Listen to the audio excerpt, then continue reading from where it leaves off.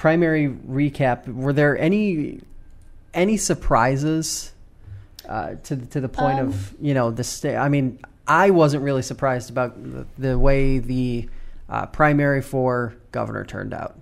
At yeah, all. no, I was I was not surprised by the result. Um, I was kind of surprised the tone it took the last week. Um, you know, there was that state mailer um, in New York City that basically kind of questioned whether or not Cynthia Nixon might be anti Semitic, which seems crazy. And I just thought, wow, I mean, people must think Cuomo's really in trouble, which I didn't get that sense all along. So Right. um, it, that, I guess, kind of surprised me. But I think the happy news, which I was pleasantly. I don't want to say it was a surprise because this is the way it should have been, but in my in my view, um, but this breaking up of the Independent Democratic Caucus is excellent. So a lot of these senators who have been in these questionable dealings trying to curry favor with the majority because for people who don't know we have a democratic assembly but we have a republican majority senate so there were a group of Democrats who split from the Democratic Party, who otherwise would have had a majority,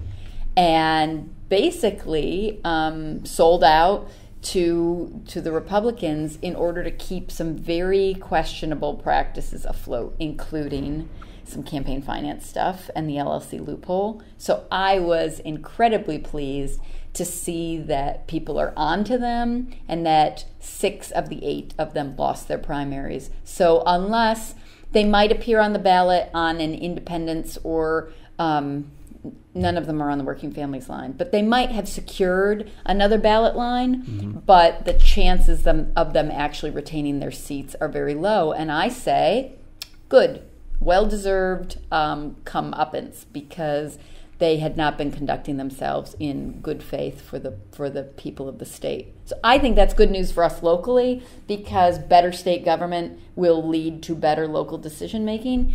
Um, but yeah, So the as you're going through talking about that, um, I had found this. Uh, I think it was like a day or two. The New York Times published this uh, uh, story, five takeaways from uh, the primary involving Cuomo and Nixon, and and the the quote here, as you can see on your screen if you're watching us on YouTube, uh, Cuomo kept it old school. It worked. Uh, he had the unions, he had the money, he had the television ads and mailers. She had the buzz, she had the celebrity, she had what seemed like the grassroots energy. She got crushed. Um, it, to me, that's that sort of sums up where state politics is right now. well, But and I I, I get it. Like there's a lot of hope that okay things Yeah. are changing, things are going in the right direction. Right. But guess what? It just happened. We watched it happen. Sure, but you know, I would also say the big piece there is he's an incumbent. So I think that it was less about Cuomo's election strategy and more about the fact that incumbents have an advantage. And let's not forget, he has been appearing and peppering funds throughout the state, setting the stage for a lot of goodwill that carried into this election. Right, and and I think the the point that at least the point that I was thinking about was like, you know, if an incumbent doesn't have money, doesn't have the millions and millions of dollars that Cuomo had, are they as effective as Cuomo was moving through this past primary?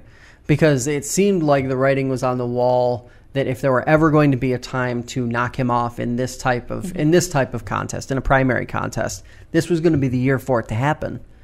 And for it not to happen and not only not happen but for it to be uh, effectively a blistering outcome. I think she secured you know a little over 34% of the vote. Yeah. um, matching what uh, zephyr teachout did in 2014 um, that to me says that you know for all of the progress that a lot of a lot of people i think hope we're making Right. i don't think nearly as much has actually been made Yeah, I also think um, her candidacy was not ideal. So if you, it, yes, this was probably the best year for someone to to mount a primary challenge.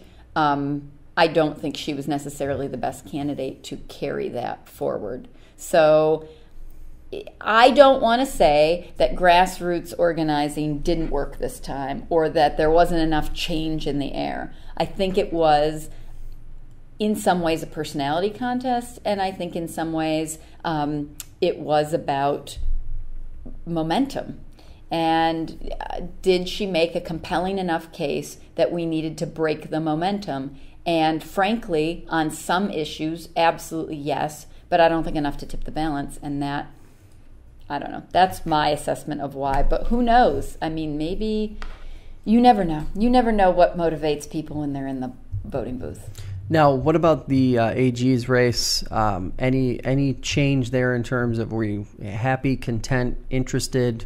Uh, by the outcome or how things shaped up in that uh, contest? Well, I definitely think everybody got the down ballot advantage of being part of Cuomo's team. I was disappointed that Zephyr Teachout did not win the Attorney General's primary because um, I thought, without a doubt, she was incredibly qualified and actually had the statewide knowledge to be able to be a really excellent representative of state interests across across the board. Mm-hmm. So that I felt was disappointing. Um, but I think the top of the ticket got most of the attention. So you can't really fault people for going with the names that were associated with the top of the ticket. Right. Yeah, and I, I think, you know, one of the big takeaways that I was sort of thinking about afterward um, and kind of wondering because it was one of the things that I thought I was going to take away from the primary before it actually happened um, was this whole debate around how how much uh, did this primary contest actually prepare uh, Governor Cuomo for his his challenge in the right. general election.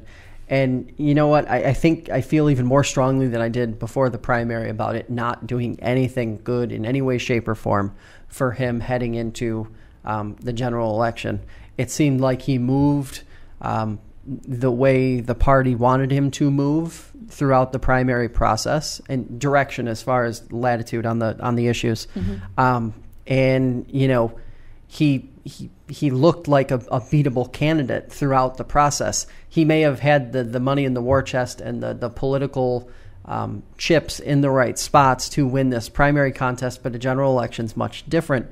And you know, I just think to myself, what what would this have looked like if it were a stronger or more for, more formidable candidate um, that were placed before uh, voters in this primary process? Right. So a more similar to Cuomo and less like Nixon yep. candidate, a, a, more central um, Democratic option. I think Cuomo could have been beat, and I think that would have been a real preview for what voters probably want more than anything, at least as far as the, the general uh, feeling goes. I think there's a little bit of desire for something more stable or something more um, less to the poles. Yeah, well, I think that what people would, uh, I think Cuomo's vulnerability right now is um, articulating a plan to actually implement some reform on this corruption end. That is an incredible vulnerability. I mean, Cynthia Nixon would not have gone for that if she didn't recognize that that was going to resonate with people. I think across New York State, especially in upstate, I think people have been starting to get tuned in to the fact that stuff going on in Albany is not in our interest. Um, so while economic development awards and other revitalization efforts are good and should continue. Um, I don't think those monies are going to be enough in general to distract upstate voters from their bigger concerns about how the legislature has been governed and particularly how that has affected things like school funding. And again, I, I've said I think Molinaro, being a county executive, is going to be able to talk about that in a way that people will actually understand and will see the impact. I think Cynthia Nixon was good at kind of pointing out the problem and and calling Cuomo on the carpet about a couple of things. But then there wasn't an alternative proposal that right. people could understand how it would affect their daily lives. I think Molinaro and definitely Stephanie Miner, who you know, full disclosure, I think would be a great candidate, great governor. Um, you know, I think that they are going to be able to say, and here's how it's going to work, and here's what it's going to look like for your school taxes, for your um, unfunded mandate payments, you know, for workers' comp, for these things that people deal with every day and have to wrestle with, especially this time of year when your school and property tax bills are coming due. Right. That's the issue. Yeah, people see people see all of these all of these political issues as management issues, and I think that's probably why we saw the rise of a Donald Trump into presidency because there was this perception that he was the businessman. He could manage. He could uh, create plans and do and whether it was right or wrong is pretty much irrelevant when it, it's just a reflection of what the pulse of the voter is at this point. Yeah, I, I hope mean, you're not showing my face right now. but it, it's it goes yeah. back to the point that it, it's a very basic fundamental thing that voters are looking for right now. They aren't looking for the political flash or anything you mm-hmm. know too exciting. They just are looking for basic answers. And to that point, what you just said, I think it's spot on because I, I do think that a county executive, somebody who has that management experience is poised to be in a really good place in a, in a contest right. against Cuomo.